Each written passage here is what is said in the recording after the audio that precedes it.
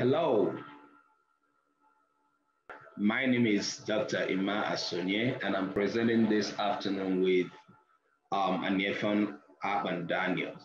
And the topic of our presentation is gestures in numerals in three indigenous Nigerian sign languages.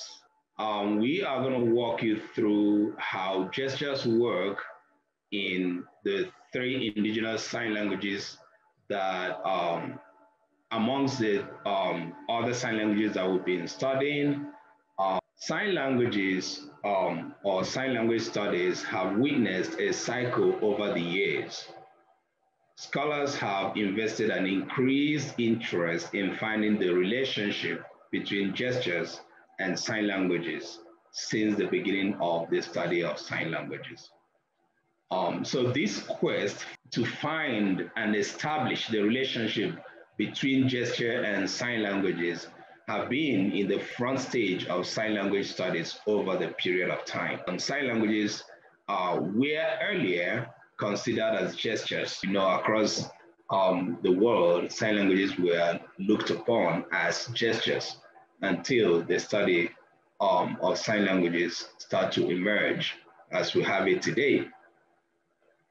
Um, so scholars such as Okrent, 2002, Kendon, 2004, Baker and Wolf, McNeill, Gordon Middle, all of these scholars have investigated the relationship between gestures and signed and spoken languages too. There's a whole lot of other scholars whose interests over the time have leaned towards finding the work that gestures do in sign languages vis-a-vis in spoken languages. So looking at um, the Nigerian Sign Language situation, um, our studies have revealed that we have two varieties of Nigerian Sign Languages. The first one, the indigenous Nigerian Sign Languages, and the conventional school sign language. And um, this is according to um, Asonye, Ima and Edward. So the school sign languages, um, as we refer to them, um, they are conventional school or forum-based sign languages. And they are largely a product of deaf education as was introduced in Nigeria, or rather as strengthened in Nigeria by Dr. Andrew Foster. And these sign language, sign language varieties um, constitute the signed English syntactic structure and the ASL-based vocabulary with a mixture of the local vocabulary. So this is a sign language variety that is largely used in the urban areas and by most deaf individuals with basic formal education.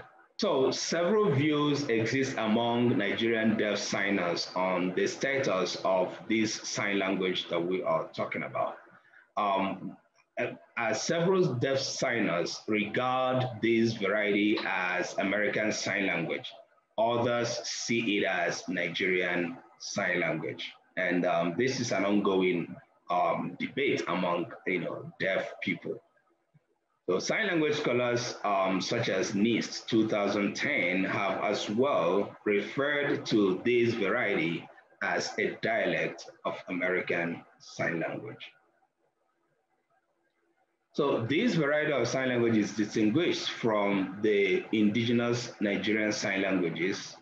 Um, the indigenous Nigerian sign languages are the varieties that are organically developed um, sign languages which develop in the deaf communities. They are used mostly by deaf people in the rural areas uh, with little or no formal education. Many of the um, indigenous Nigerian sign languages were developed and were in use in pre-colonial times. Um, the work of Miles 20, 2004 has gone a long way in giving us some missing pieces of evidence um, that prove that indigenous Nigerian sign languages are among the older or oldest you know, um, sign languages that exist in Africa and uh, um, some of which we are considered as developed. And this uh, variety also represents the cultural identities of the deaf people. And they are displaced, they are being displaced by the school sign language, um, which we also consider them as being grossly endangered by the virtue of our studies.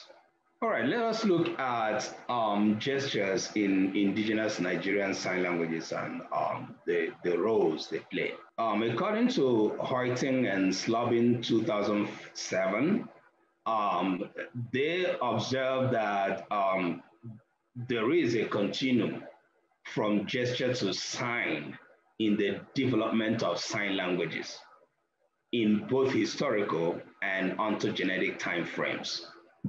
Historically, gestures, gesture is considered to develop into signs and sign languages as lexicon develop into grammar in spoken languages. And we can't agree more with this um, statement because um, our study in the indigenous um, deaf communities have um, shown us largely how much the gestures can be found. And going by the study that part of which we are um, describing here today, uh, we, we will understand that there is a kind of um, consistency in this, the gestures forming part of the signing system of, of, of the community.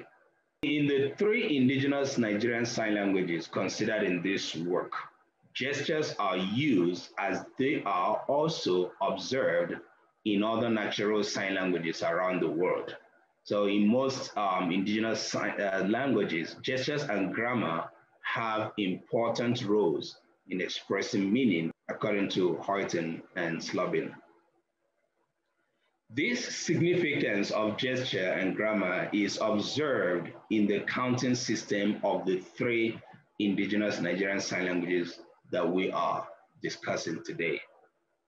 So the first we are going to be um, looking at is the Akure Sign Language. Akure Sign Language that we are notifying, identifying here with as um, AK, AKSL. Um, it is not studied by us. So we identified this uh, deaf community um, uh, as was started by ORIE 2013.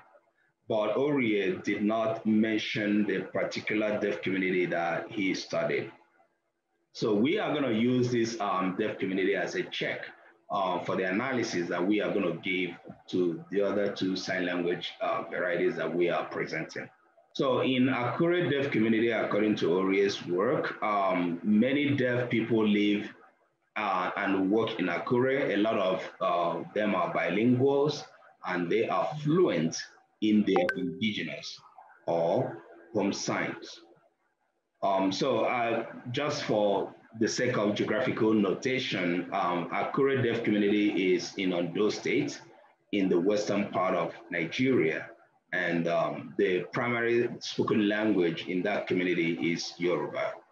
The next sign language variety we are discussing today is um, Ibokun Sign Language, which we identify as IBSL um, Iboku Sign Language is signed in Iboku Village in Obokun local government in Osun State, Nigeria. This village has an estimated population of over 200 deaf um, signers, some of whom are bilingual, but majority of whom are not very literate in the formal education. The Ibokun uh, people are mostly uh, farmers who specialize in growing uh, food crops such as yam, cassava, maize, rice, and so on. And they also grow uh, cash crops such as cocoa, kola nuts, etc. Yoruba and Ijesha are the primary uh, spoken languages in this village. Um, preliminary signed language data that have been collected from this um, community were collected by um, one of our volunteers, Dr. who is deaf, and Rebecca, who is hearing, both of whom have done this on you know, two occasions of visit in, the, in that community. The next um, sign language variety we are presenting today is um, the one we uh, call Mogejingeri um, Sign Language, MGSL. Mogejingeri Sign Language is an indigenous sign language of the deaf people of Kaduna, occupying the Mogejingeri region in Kaduna State, Nigeria. Mogejingeri is just a region in the northern part of Kaduna where the Mogejingeri Sign Language was documented uh, when we arrived, we um, referred to the variety of the sign language we are collecting with the name of the area where the um, documentation was done, just to make sure that we have a specific identification for that language variety. The um, language consultant that worked with us in this uh, work, some of them came from Zaria local government area in Kaduna and in it, from its environs, um, they live in the Mogajingar area, and that is how we derived the name Mogajingar. The sign language used in that region by the language consultant is the same, though with some slight variations because of where the different people came from. So there is, there were some, you know, signing varieties for those who came from Kano's area and all that. So, and then the sign language uh, that system used there um, are used by both old and young, and Hausa is the primary spoken language in that area. So let's look at a video where a woman is signing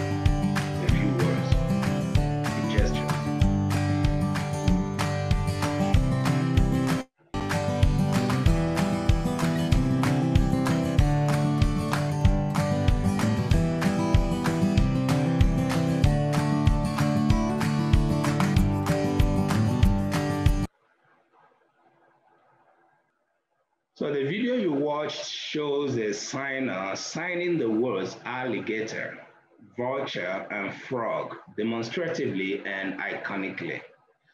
An alligator she signed by using a large signing space to demonstrate the widely open mouth of alligator while catching a prey. This is to a very large extent gestural or demonstrative and also iconic. Vulture is signed generally as a bird by demonstrating the bird flying away um, to avoid being caught by humans. And the signer emphasizes the act of attempting to catch and flying away. That is um, the two um, main, uh, will I say, phrases that combined to make that signing. Frog is signed by simply employing a body of a body movement that indicates the hopping of a frog with an accompanying froggy sound. All right, so let's look at gestures in the numerous of indigenous sign languages. So Orie is the first work that is known to us that describes indigenous sign languages in uh, gestures in numerous. And Orie describes how conventional gestures used by both deaf and hearing in the Yoruba community evolve into the signing system of the deaf. Although Orie um, identifies his deaf community in Akure, Yoruba land, it is no doubt that the work that you know he describes um, is part of a feature that potentially cuts across other indigenous sign languages. So this is partly because, according to Nyst 2010, indigenous African sign languages are known to evolve outside of um, the context of deaf education, and because deaf people are part of the larger hearing community, as we have always said. So let's look at some gestural signs. We should start from here.